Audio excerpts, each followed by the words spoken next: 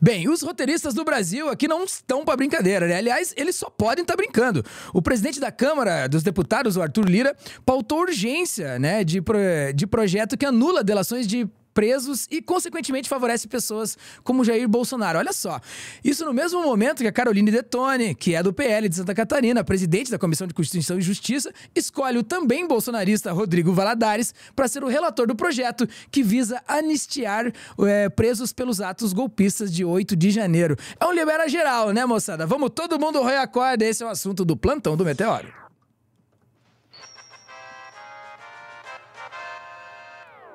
Dale! Para falar sobre isso, estou aqui com Daiane Oliveira. Dai! Quer dizer então que no apagar das luzes o Arthur Lira tá percebendo que tá todo mundo querendo roer a corda mesmo e é melhor dar um jeito de segurar aí as consequências que essas delações estão dando para toda essa galera do Centrão, que inclusive né, até louca para provar esse tipo de medida, né? Pois é, né? Eles querem literalmente né, fazer um libera geral aí. E é, é extremamente absurdo um pensamento de que, olha, tá tudo certo, é, liberar as pessoas ali da, na, na PEC da anistia, liberar as pessoas que participaram do terrorismo ali do 8 de janeiro, né, de um ato é, contra os três poderes brasileiros, contra a democracia, de um, de um deputado, né? Uhum. E também, né, é, nessa questão diretamente dessa PEC, que o Arthur Lira está tentando passar toque de caixa, literalmente, né, uma lógica de boiada. A gente vai então. Uma PEC de 2016 e o Arthur Lira está tentando dizer assim: olha, é, a gente tem uma PEC aqui que foi imposta primeiramente por uma pessoa ali da linha da esquerda, né, que impedia que presos que fizeram delações, essas delações tivessem validade, uhum. porque eles já estavam presos e isso poderia interferir diretamente em algum processo, poderia ser algum benefício próprio. Uhum. Podia ser que nem é, Lava mas Jato. isso não leva em consideração, por exemplo, de que apenas a delação não é absolutamente nada. Uhum. Essas delações, elas são só mais provas que colaboram com uma investigação que é existente, né? Uhum. É, Tá, sim. E aí, e, e, aí que tem a questão, né? Tipo assim, o que a gente tá vendo nesse projeto de lei é que o Arthur Lira, dentro da sua, das suas, né, enfim, atribuições ali, né, enquanto presidente da Câmara, tá de alguma forma é, trazendo novamente esse, esse projeto num momento oportuno para sua para enfim, para seu espólio, né, enquanto presidente da Câmara, né? É, a gente vê o que ele vem trazendo, né, esses, essas essas, esses, essas observações, né? De que era um projeto do campo da esquerda, de que de alguma forma a gente poderia. É, agora aproveitem, não era isso que vocês queriam, então agora aproveitem, enfim, né? A gente sabe como é que é jogar com o regulamento embaixo do, bar, do braço, né, Dai? Isso, né? E o Arthur Lira, ele faz isso muito bem. esse momento, inclusive, é do Arthur Lira escolher o, o seu sucessor ali na Câmara de Deputados, né? Uhum. Então, ele está tentando passar a toque de caixa o que ele está né, tá pautando ali, o que alguém pauta para ele, o que é de interesse coletivo ou não, né? São respostas que a gente não tem ainda, mas a pergunta, inclusive, que fica é por que agora? porque neste momento. Uhum. É, e aí, né, a gente já viu aqui no chat uma pessoa falando assim: não, mas é, aprovando o projeto agora não serve para delações anteriores. Mas, especificamente falando de Bolsonaro e do caso Malcid, tem muita coisa que o Cid não disse ainda. Então, pode não servir, inclusive, ok, para outras delações anteriores, que, para o que já foi dito. Mas, a partir de agora, o que foi dito está valendo ou não está valendo, sabe? E é esse uhum. o ponto interessante. Sim. Se por algum acaso o Bolsonaro for preso e resolver delatar toda a família, porque a gente sabe como os bolsonaristas são, eles, né? Uhum Né? Na Eles hora da dura, preso, você abre o cadeado, né? Entendeu? E aí, quando resolve se falar, por quê? Porque a delação pode ajudar a justiça, pode diminuir, é, atenuar um pouco a sua pena. E aí, essa pessoa não vai ter essa delação que vai colaborar com essa, essa, com essa investigação que já está em curso, que já traz outras questões. É importante a gente pensar que, é, neste momento, Arthur Lira quer beneficiar alguém passando esse projeto, né? Uhum. Ainda mais com urgência é, do jeito que foi feito. Vamos assistir a notícia que já traz essa informação toda sobre essa, esse projeto que é meio absurdo neste momento? vamos que vamos, tá na tela.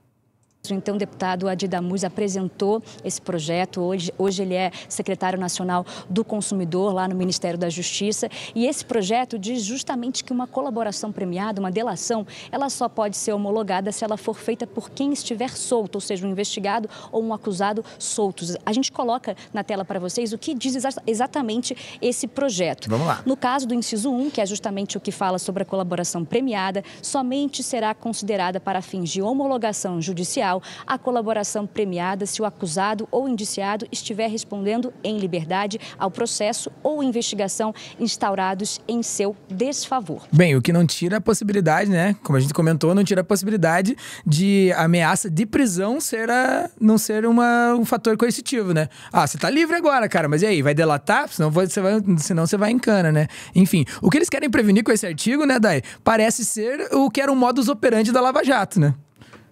Como a Lava Jato atuava, querem prevenir que isso aconteça novamente agora para essas delações de é, quando chega ali no, no centrão e na toda essa classe política, né?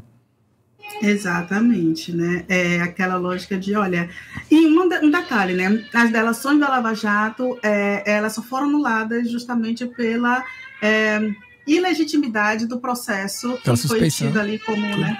Uhum. né? Exatamente, Moro e seus colegas ali, é. só por isso, né? É, mas só que as delações elas colaboraram muito para a gente entender um esquema que existia no Brasil. Não é um, um, processo que a gente vai pegar a criança e jogar no lixo, né? No, no, no rio, juntamente com o balde da água que a gente está dando banho. Não é assim que se faz é necessário a gente compreender que esse processo da delação colabora. E aí, por exemplo, uma coisa é você imaginar, poxa, alguém deu uma ordem para o CID falsificar o cartão de vacinação do Bolsonaro. E outra coisa é o CID dizer, a ordem veio do Bolsonaro. É importante quando a gente tem essa confirmação, sabe? Isso dá um outro peso uhum. para as denúncias que acontecem. Pode crer. Eu vou, deixar, eu vou, é... eu vou, eu vou dar o play aqui de novo, tá? Pronto. Vamos lá.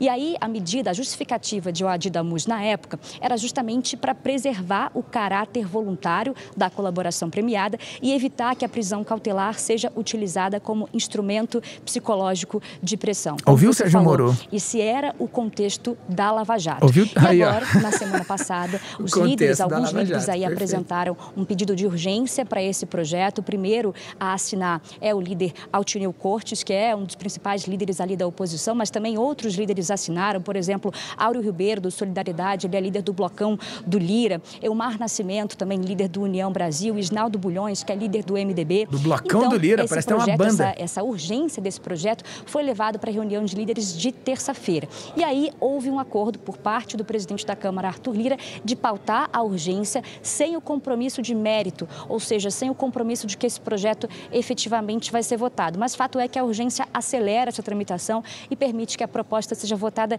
diretamente no plenário. Ela entrou, esse, esse projeto, na verdade a urgência, entrou no, na sessão de ontem que, e só não foi votada porque a sessão foi encerrada, porque a deputada Luiz Erondina do PSOL passou mal.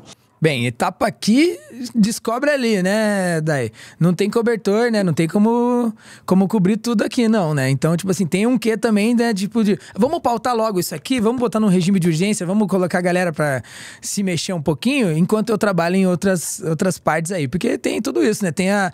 Tem a. Quem vai suceder, né? O Arthur Lira na presidência da Câmara, né?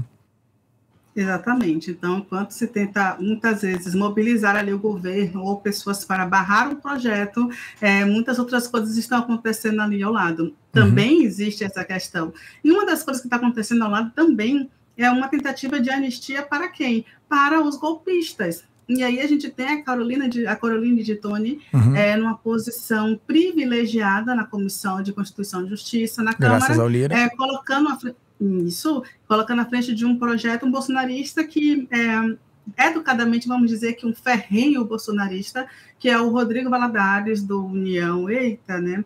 Nordestino esse, eu não posso nem dizer que é do Sudeste, fazer uma brincadeira, mas esse é nordestino, é um ferrenho bolsonarista, é, mas ele vai ser relator de um projeto que visa fazer o quê?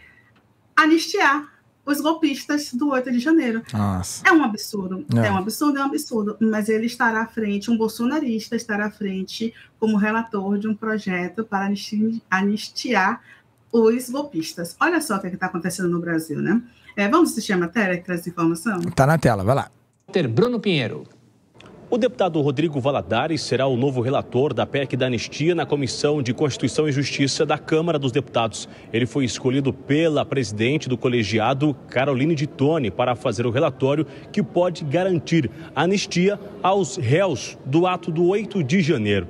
Também é de Valadares a autoria da outra PEC que condiciona o cumprimento de medidas judiciais contra os parlamentares à aprovação da mesa diretora da Câmara ou do Senado, chamada PEC da blindagem.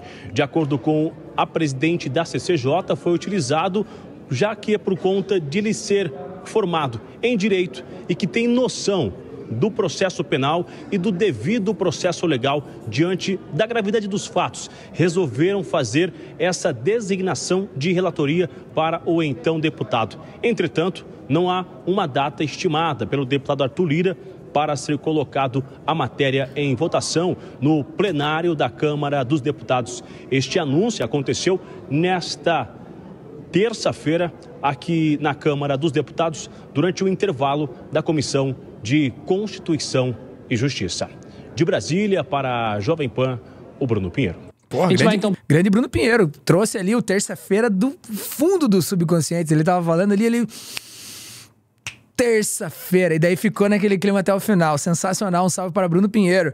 Bem, o que a gente tá vendo aqui é o seguinte, né, Daí? Eles estão querendo, de alguma forma, tentar é, colocar essa anistia aos golpistas do 8 de janeiro como se fosse, tipo assim, ah, é a oportunidade de reconciliação do Brasil, né? É agora. Precisamos reconciliar, precisamos acalmar o Brasil. Cara, o Brasil não sente a menor falta, cara, de nenhuma daquelas pessoas ali que estavam diretamente tentando influir, né, na política nacional, diretamente querendo romper com a democracia. Ninguém ninguém sente falta de nenhum desses caras, bicho. Ninguém. Inclusive, a gente tem notícias de que vários fugiram até, né? Então, assim, Sim. evadiram por aí. É, uma, um ponto que é importante a gente pensar é quem é bandido no Brasil, sabe? Quem comete crime no Brasil e como é o processo penal para essa pessoa que comete crime no Brasil, sabe? Uhum que a gente tem, por exemplo, e aí a gente vem para um pensamento que o Rodrigo Valadares, ele não é só um deputado bolsonarista, ele é um deputado da linha bolsonarista, um deputado é, da linha mais radical, sim, dessa, desse pensamento do bolsonarismo, e ele é um deputado, inclusive, que participou dos atos pró-Bolsonaro, é, e esse é o deputado que vai estar à frente é, de um projeto que pode fazer com que aqueles todos é, aquartelados ali do 8 de janeiro não tenham nenhuma punição. Por que não teriam nenhuma punição? Porque eles estavam ali também pró-Bolsonaro. Então, assim, é, minha mãe né, tem uma, um termo que a gente usa aqui, que é o quê? É a, a raposa cuidando do, do galinheiro, sabe? Para quem não sabe, a raposa ataca galinheiro. Mas é você dar de mão beijada uhum. é, um, um, uma condição muito favorável é, para a relatoria. beneficiar a relatoria é muito forte, né? Dentro de um, de um processo desse ali, interno e tal. Mas eu tenho certeza, assim, sabe daí? É, tem muito ali que é muito. que é só assim, eu fiz algo para tentar salvar vocês, mas se não der certo, estão nem aí, sabe assim? Ah, deu certo, não deu, deu, não deu, mas ó, eu fui relator da parada, tentando de alguma forma manter ali um tal de. um, cap, um certo capital político que se formou a partir desse antipetismo e que nesse momento histórico ali teve o nome de bolsonarismo. Vai ter o nome de muitos outros, muitos vão querer ocupar esse lugar, né, galera? É, e eu acho que assim. A nomenclatura tem que mudar um pouco. Os caras têm que saber que ao ser contra o PT, os caras são contra o trabalhismo, são contra o trabalhador de verdade, assim. Não é contra o esquerdismo ou aquele, uma ideia difusa de, de, é, de contrariedade ao conservadorismo. Não é isso, mano tá ligado? É, eu acho que a gente tá no, tá, vai estar tá num, num, futuro próximo, a gente ainda vai conversar sobre todos esses assuntos novamente. Aqui no plantão a gente vai ter oportunidades mil, né? Mas só de ver o nosso chat aqui dá pra ver que a galera já tá, já tá esperta nesses assuntos, já sabe o que tá acontecendo. E a gente espera só que o próximo presidente da Câmara aí não seja da mesma laia, assim, né, meu? Não seja um cara assim, um filho de alguém aí igual um Arthur Lira. Se bem que a gente tem medo de né, que seja um Severino Araújo, igual foi aquela outra vez. Então, tipo Sabe? Enfim. É difícil, né? É, é hard. Mas a gente tá aqui no Plantão Meteoro para noticiar tudo isso para você.